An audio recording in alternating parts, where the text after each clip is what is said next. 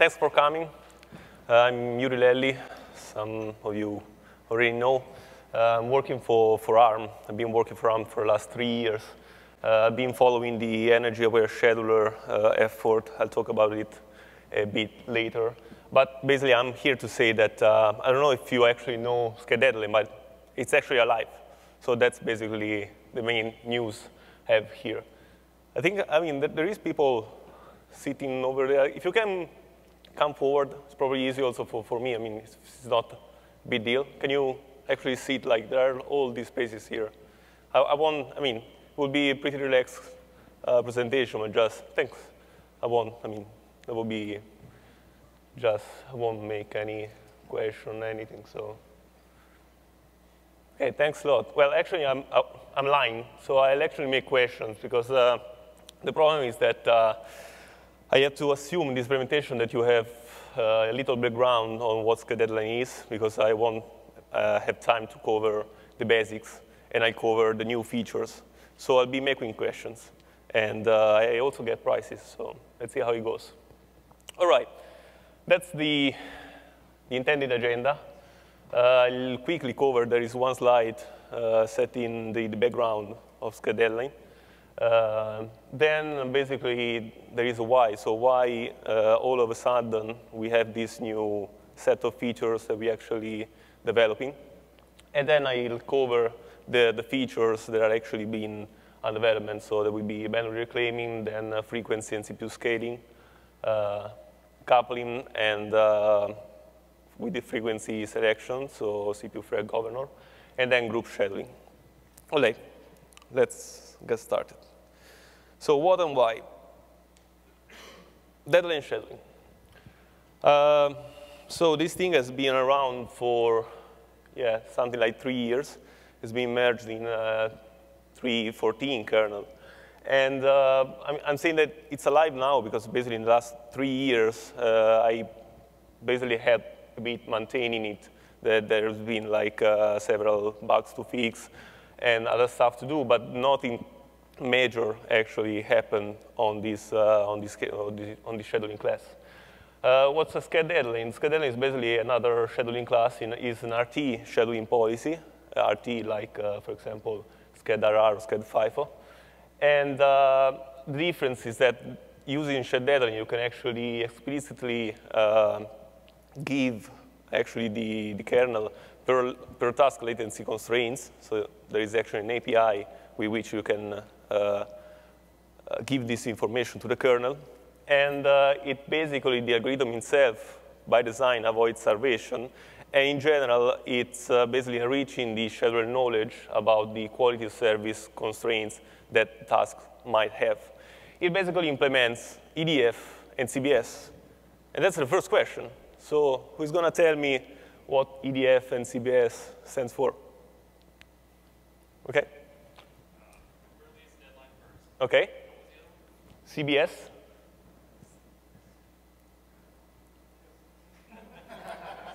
Anybody else? So you, you, you actually get the prize. So this, this question was actually two pens. I'll have uh, one pen handed to you. This is a very uh, nice pen. This, this is for you. I put it here, and you can collect afterwards. I mean, as you know, I mean, they're pretty cheap uh, items, but we do pretty inexpensive chips in ARM. So that's, that's why, right? So CBS, who's going to tell me for another pen? Nobody? Really? All right. So, so uh, I get my pen, and CBS stands for Constant Bandwidth Server. Uh, it's the, actually the nice, um, I, would say it's the nice thing here, because EDF is basically pretty dummy, so you uh, basically schedule the task with the earliest deadline. Uh, it's like a priority-based uh, algorithm based on deadlines. But the nice thing is that the CBS, it's another algorithm, and this algorithm actually uh, picks the, let's say, the dynamic, the dynamic deadlines of the, the different tasks. And actually, it's that algorithm that uh, it makes, uh, for example, temporal isolation and uh, starvation, avoiding starvation possible. All right, uh, if you uh, want to actually have more details, I actually gave a presentation to last year ELC. You find the uh, link there, and through, uh, through the slides, also be referring to papers uh, describing the uh, algorithms. So you can actually go and offline search more about this. So, but why uh, this developing is now happening? Well, the why is that uh, in ARM, we have been working in the last four or five years on this thing that we call energy-aware scheduling. It's basically a, serial, a set of extensions to both the Linux kernel scheduler and several subsystems, for example, CPUFreq, to actually make them uh, uh, power and performance aware. So both like meeting the performance requirements of uh, user space application while saving energy. And uh, that effort so far has only been uh, basically modifying and taking care of modifying sched normal uh, scheduler-wise. Then uh, last year, uh, this set of uh, changes got merged in the Android common kernel and is uh, basically now used by Android.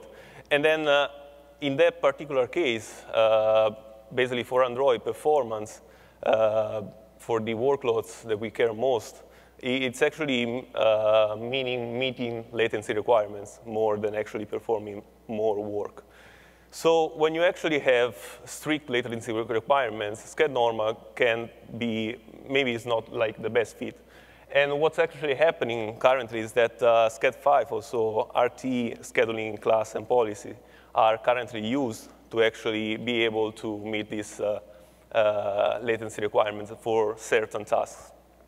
Now, basically my point here is that uh, for the same, uh, I actually believe, I had to prove this because this is really uh, experimental and work in progress uh, stuff that I'm actually uh, going to talk about. But I really believe that uh, for the same use cases, we can actually make better job using deadline. It should be, it's a theoretically be better fit.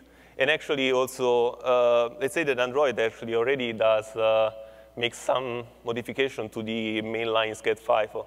And I'm not sure that those modifications can ever get upstream, just because uh, I guess the feeling that I got from maintenance is that sched FIFO uh, is probably not the best thing you want to modify.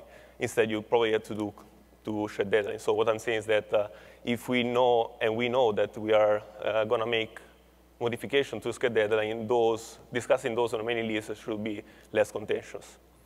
That's my uh, personal feeling. Um, yeah, actually, uh, I want to mention that uh, this, um, this work is not only ARM doing this, but we are basically collaborating currently with uh, Scuola Superiore Sant'Anna of Pisa. Scuola Superiore Sant'Anna of Pisa is basically the uh, university I've been uh, studying uh, before joining ARM, and actually the whole, the whole scheduling project uh, was born there. So while I was there, actually, we got this thing merged. So it's basically the same guys that continue uh, working on, on the project. All right. Okay, so those, that was basically the general introduction. But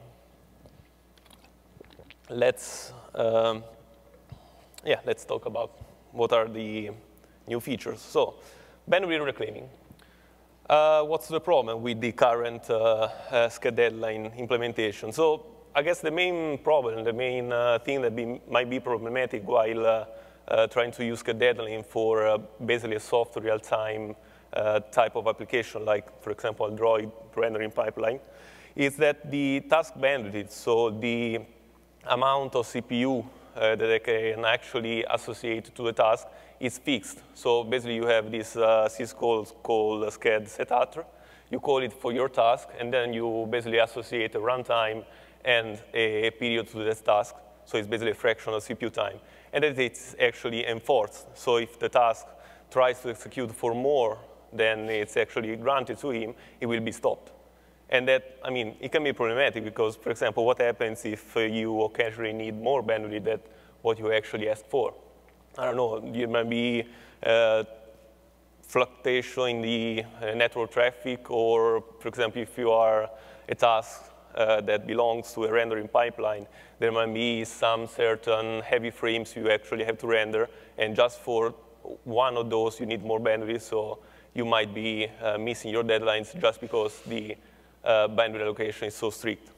So the proposed solution, and it's proposed basically there, are, there have been uh, at least four uh, sets on, under discussion on the Linux Kernel mailing list. There is going to be uh, most probably a post in like next week or week after next. It's uh, something that we call bandwidth reclaiming. Uh, the idea is that uh, you would allow tasks to consume more than what they have been allocated at syscall time, at admission control time. Of course, uh, to uh, don't risk to jeopardize everything, everybody else, so because we have still sched or sched FIFO task, you can uh, allow uh, this reclamation to happen up to a maximum of the CPU time. And of course, if, if this doesn't break, others sched deadline guarantees. So you don't want to jeopardize uh, other sched deadline tasks.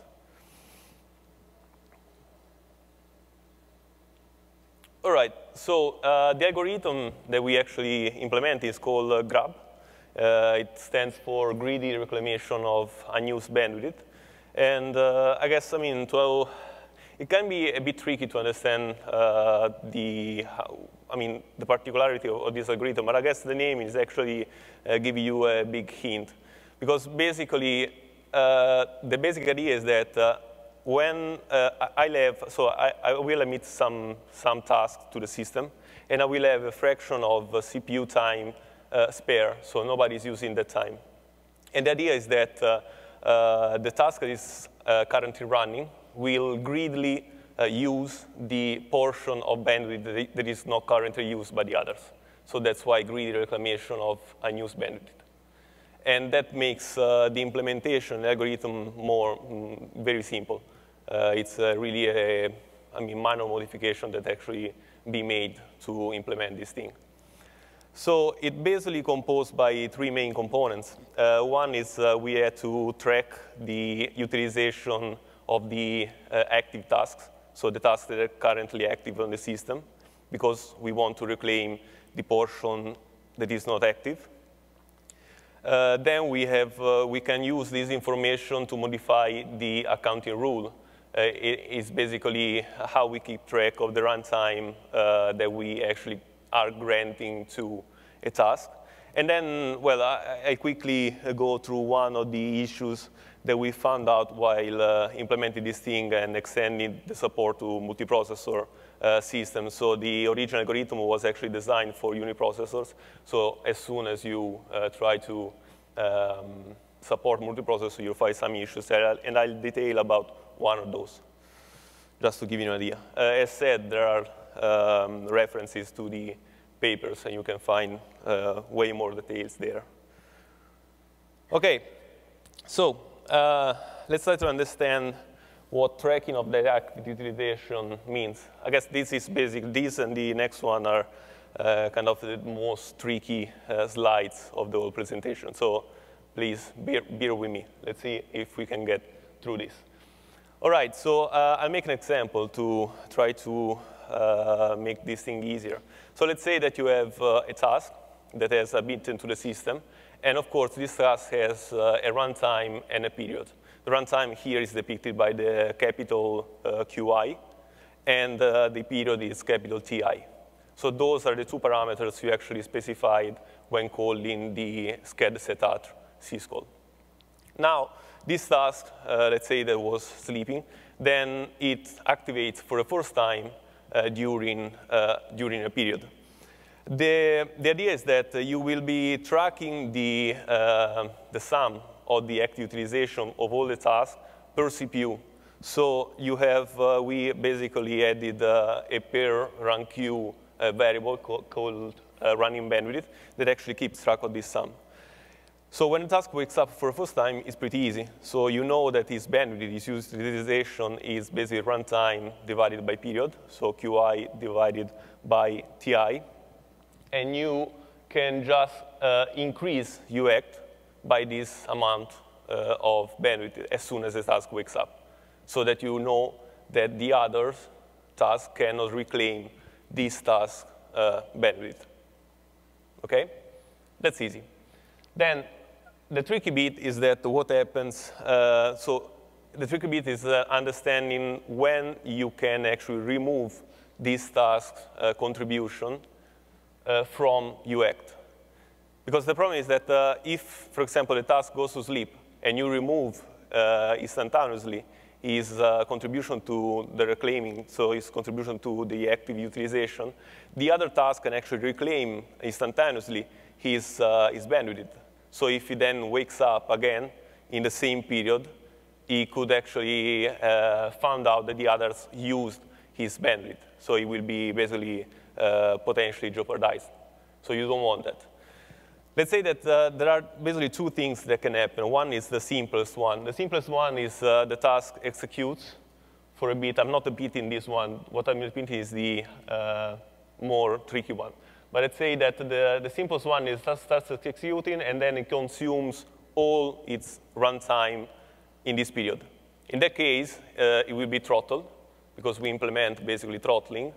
And uh, at that point in time, you, can, you actually know that you can remove his, uh, uh, his contribution to the active utilization just because he, he already depleted all its available runtime.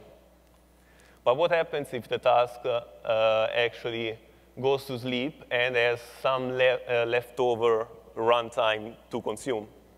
Now, the tricky bit is that you have to remember what the constant bandwidth server does when the task wakes up.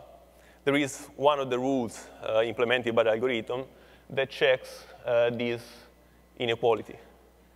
So, second question. Who's going to tell me what this, uh, what this inequality actually checks? So why do we want to check, uh, use the uh, remaining runtime divided by uh, basically the deadline minus this amount of time when a task wakes up and compare that with the theoretical uh, worst case uh, bandwidth. Any idea? Believe not? So basically, uh, let's see if I can help you. Um, as said, the task goes to sleep at this, uh, instant time. It has some runtime uh, leftover runtime. Then you want to know if it wakes up in the, in the same period, if it's going to use uh, its runtime, its leftover runtime, no matter what. The problem is that if he wakes up, for example, here, pretty close to the deadline, he will actually go and execute for the, mm, I mean, using more than what allocated, just because uh, it's basically free to execute because it's probably the highest priority task. So if there is, for example, another task that is running con concurrently with him, it will basically execute in, this, in the other task uh, reservation. So this, this thing actually just check if we can recycle or not the current runtime. Um, so basically what we do in practice is that when the task goes to sleep, we actually have to compute this point in the, in the or time in the future called the zero lag time. This is actually deriving from this inequality. So basically you make this inequality, and then you calculate t uh, from this thing. And t is actually your zero, zero lag time. So basically you know that after this in time, the task uh, cannot reuse the leftover because if he actually is going to use the leftover, it's going to cause troubles to other tasks. More or less?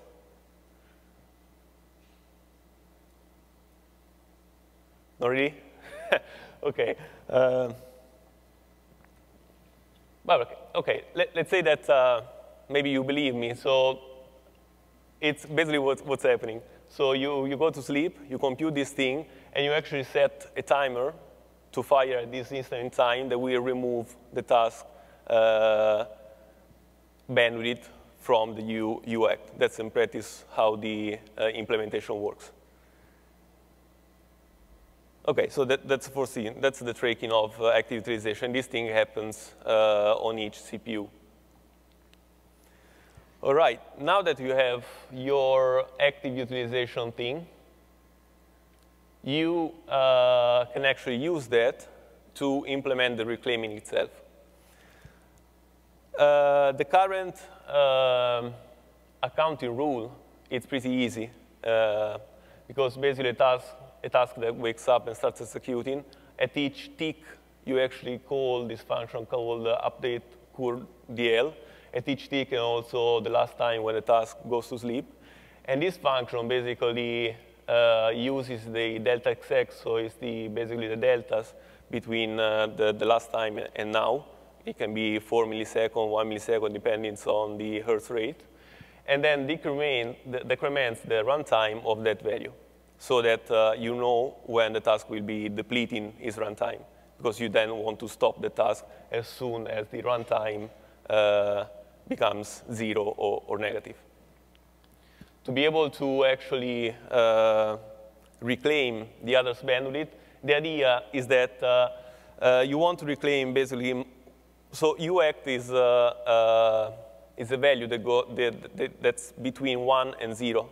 So it's a fraction of the 100% CPU time. The idea is that you want to reclaim 1 minus the uact. And if you do the math, you actually come up with uh, this, uh, this equation here. So instead of removing the, the whole delta exec, you're actually removing a fraction of, the, of that delta exec. To make an example, if the task is a 30% uh, uh, utilization task, uh, you will multiply in the delta exec by 0.3. So if you execute for uh, 9 milliseconds, you can actually, you actually remove 3 milliseconds. So basically, you have more time to complete. Uh, but that, I mean, if you actually allow to th this task to actually uh, reclaim 100% of CPU time, that will be a problem for non-deadline tasks. So you will end up uh, starving other, other guys. Uh, simple example to try to understand better the, this point is, uh, so let's say that you have a five second over uh, 10 second task that can actually reclaim. So if you can reclaim 100% of the CPU, what, what does it happen? Anybody that can help me here? Because that's actually another quiz. So this is probably easier to, to, to compute. So let's say, uh, so what's the current UACT? So consider there is only this task on the run queue and has uh, a runtime of, of 5 seconds and a period of 10 seconds. Sorry? 0.5. So 0.5 is actually the current UACT. So let's say that, that this task is uh, executing, and basically at each instant in time, uh, let's say that it executes for one millisecond. But instead of removing one millisecond of uh, runtime from each runtime, how much you remove by using this formula here? 0.5. So basically you remove 0.5 millisecond every one millisecond. If you do this for uh, considering that the runtime is uh, five seconds, basically you will execute it for 10 seconds. And that's basically all you'll be con constantly executing over your period. That's basically, I'll give you a USB pen because uh, anyway, I have it here. So that's basically what happens. Uh, you multiply by 0.5 and you will deplete in your runtime in 10 seconds. So that's, that's basically, if the task doesn't reclaim, it gets stopped after five seconds and the other task can actually run and they're happy.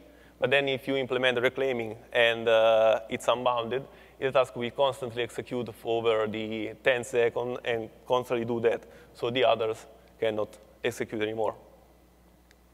Does it make sense?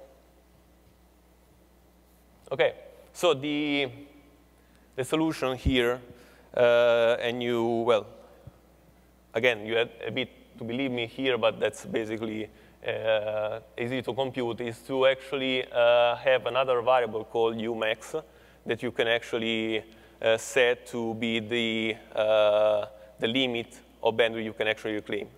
In this case, for example, in the same examples, if you set the, the max to be 0.9, the task will only reclaim up to 90% of the available runtime. And so basically gets to execute for maximum 9 seconds, and you will have 1 second of uh, time for the others to execute. That's basically the solution for this problem. Okay. Uh, yeah, multiprocessor. Uh, let's say that uh, we actually discovered this problem uh, just because the, as said, the algorithm was actually designed for a single processor. Uh, let's say that you have two CPUs and you have a task that goes to sleep at this instant in time. So you actually, when you woke up the first time, his contribution to the UACT has been uh, uh, added to uh, the of, CPU K. Then it goes to sleep.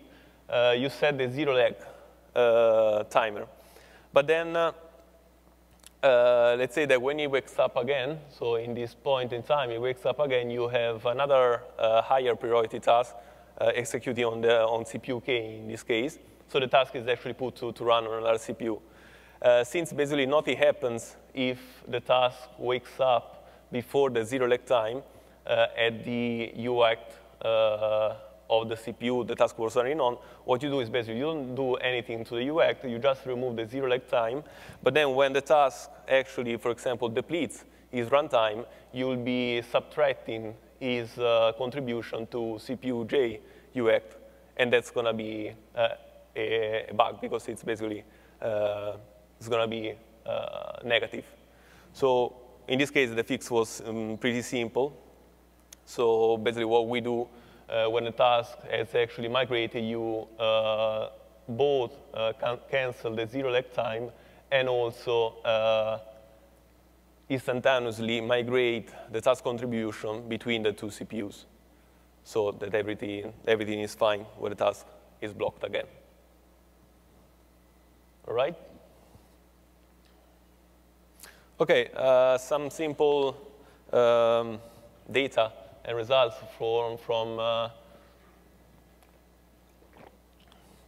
from synthetics. Uh, as said, this is work in progress. Basically, my next uh, step is I will uh, tell you um, in, in, a while is to try and start using this thing, for example, on Android. But I mean, this thing is basically a simple example. Here I have uh, one task that is uh, executed inside a 6 millisecond over 20 millisecond uh, reservation. A task is a, it actually has a constant execution time. So every time it's activated, it's executing for 5 milliseconds. You have uh, another task on a single CPU here uh, that actually has a reservation of 45 milliseconds over 260 milliseconds. The problem with this task is that uh, it uh, experiences occasional variation in its actual runtime. So it varies between 35 milliseconds and 52 milliseconds. So there will be uh, instant in time in which it will try to execute for more than 40, uh, 45 milliseconds. And you see here that uh, basically uh, this is task two without reclaiming. Uh, here I'm basically depicting a cumulative distribution function of the uh, major, uh, measured response time of the task at each activation. So we actually measure how, how much time the task actually required to, to finish its current activation.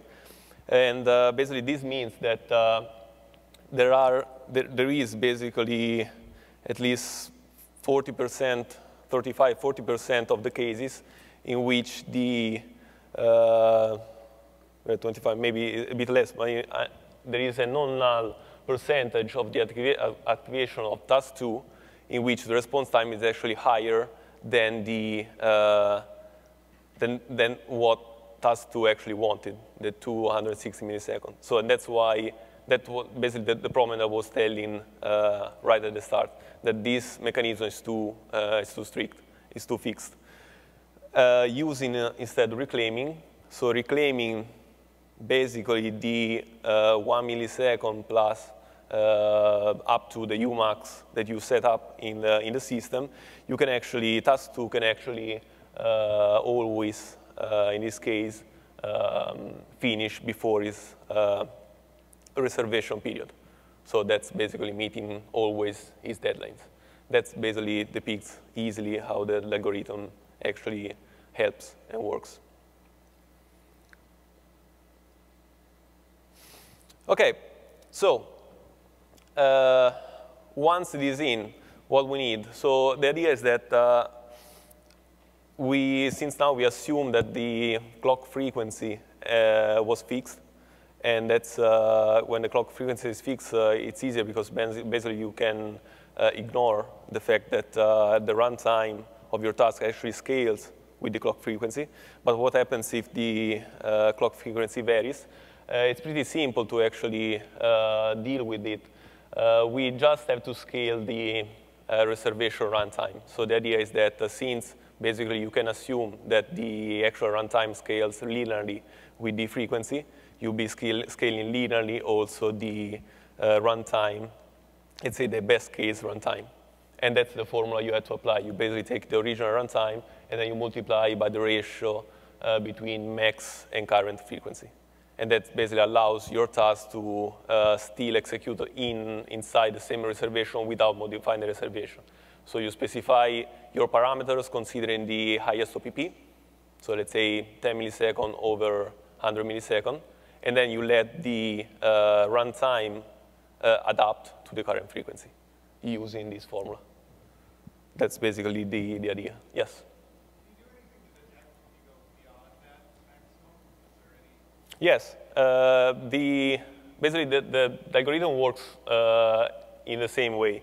Uh, I actually have uh, an example here, probably answering your question. So let's say uh, I run this test on an HiKey board. Uh, the keyboard has uh, five operating points in the A53 CPUs. Those are the operating points, so it goes between uh, from 208 megahertz to 1.2 gigahertz, and there's uh, the associated capacity in uh, 1024 scale. So the formula, let's say that you have this task that actually has 12 millisecond over 100 millisecond reservation at max frequency. That translates, for example, if you then try to run the task at minimum frequency, that translates to 69 milliseconds. So you'll have to extend the runtime, the 12 milliseconds, up to 69 milliseconds. And that's actually what, what's happening. So here, basically, in the first, uh, in the first plot, I'm running the task. Uh, so basically, I'm running a 10 millisecond over 100 millisecond task inside the 12 millisecond 100 millisecond reservation. So everything is fine. The task computes and uh, ends up computing before it's actually throttled. Uh, if I then run the same, but at the minimum frequency, uh, the, the, actual runtime is extended. I mean, it, it, takes 60 milliseconds then to actually ex execute the same amount of work, and that's still fine because I know that my reservation actually get extended to 69 milliseconds. So as soon as the task, for example, here I incremented of 10 milliseconds the third one, the actual runtime of the task. So as soon as task, in this case, tries to ex execute for more than 69 milliseconds, it's actually throttled. So the, the algorithm is actually working consi consistently. Yeah?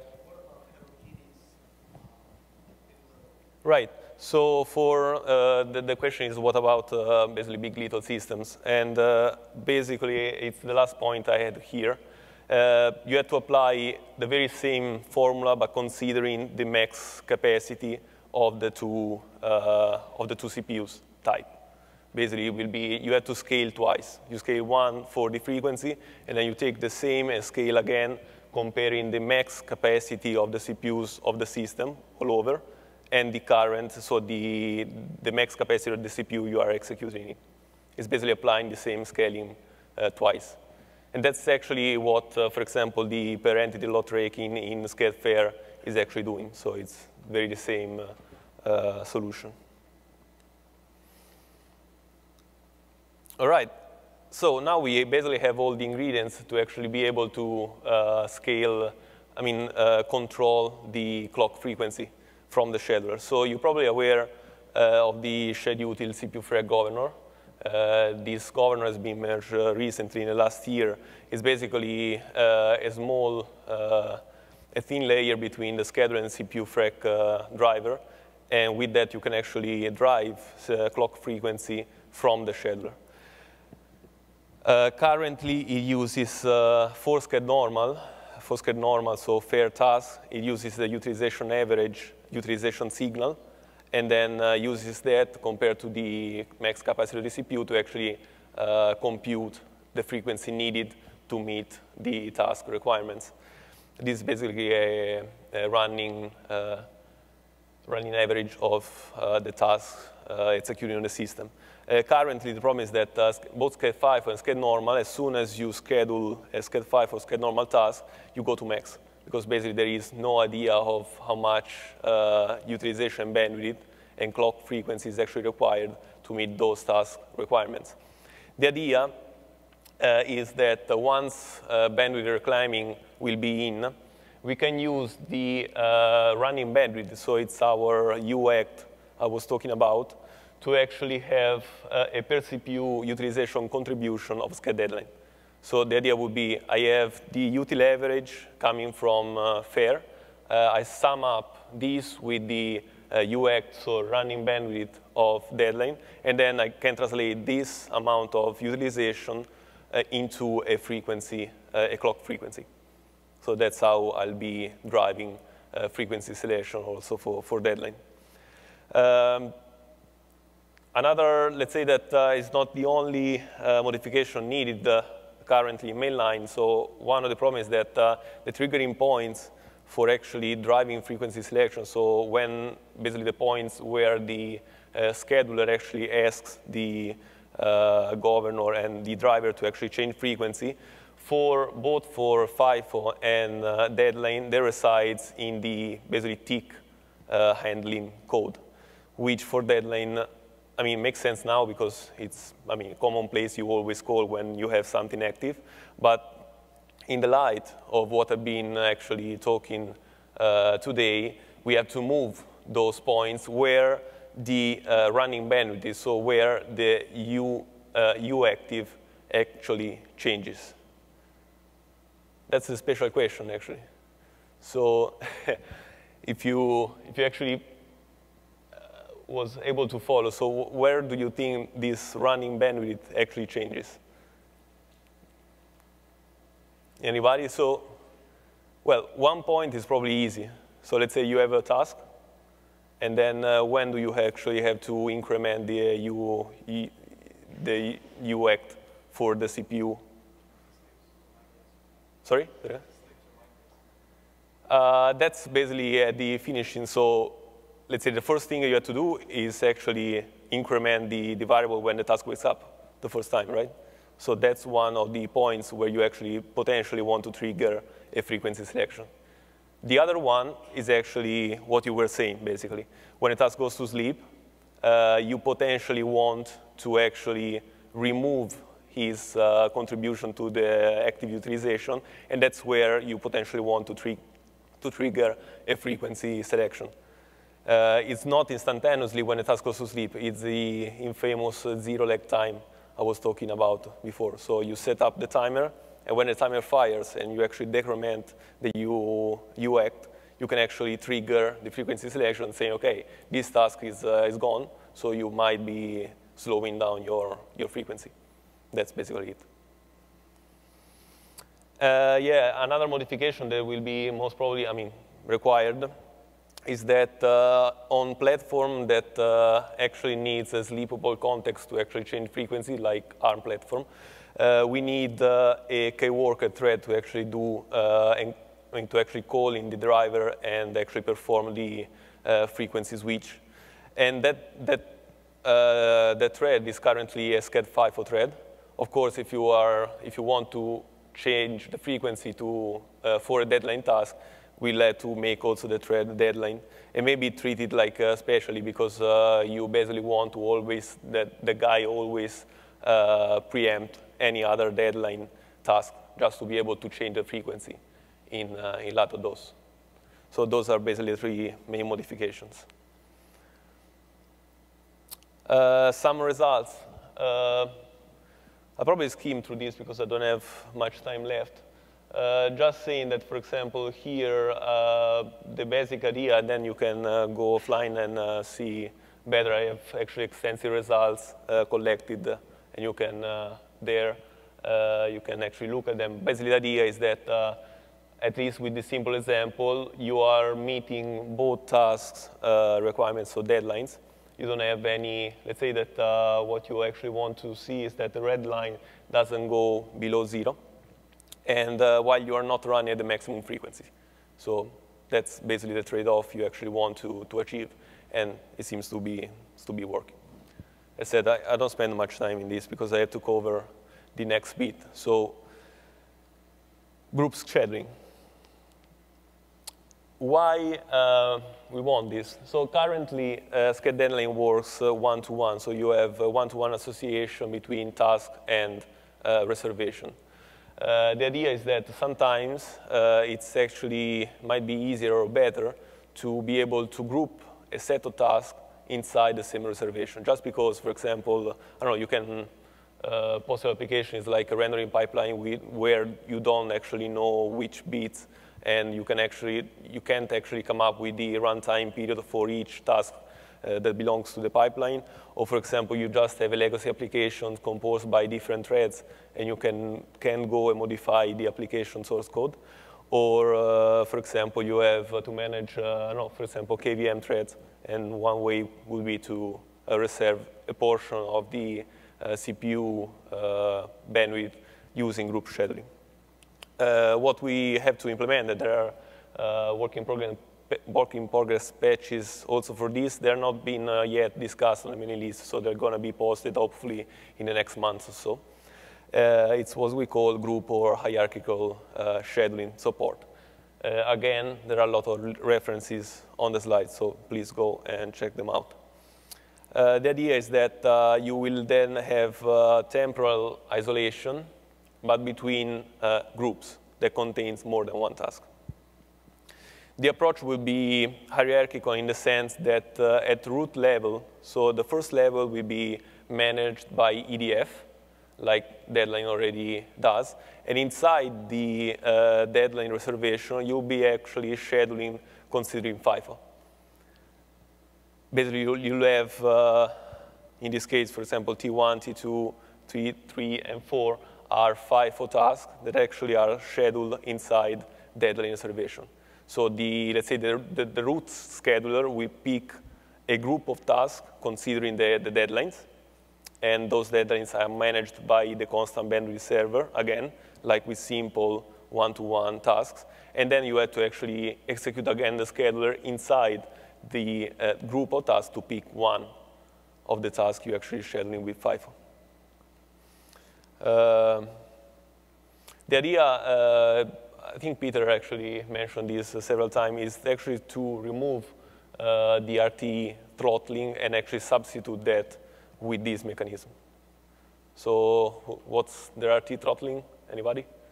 Mechanism? Right. So it's basically, it's mostly, let's say, the bug mechanism to uh, actually prevent uh, FIFO RT task to actually jeopardize all the CPU. And that's basically more, I mean, theoretically it's the same thing because uh, here I will reserve uh, a portion of the CPU using deadline, and uh, so that I can, after I have this, I can remove that, that uh, mechanism.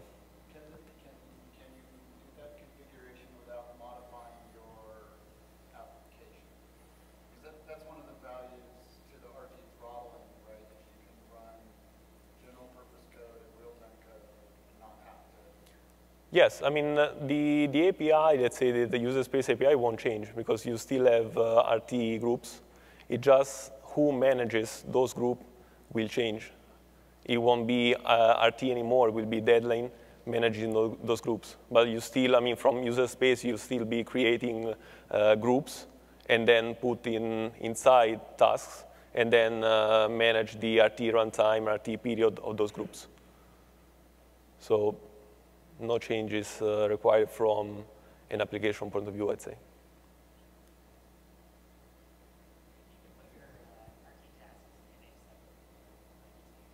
Sorry? Yes.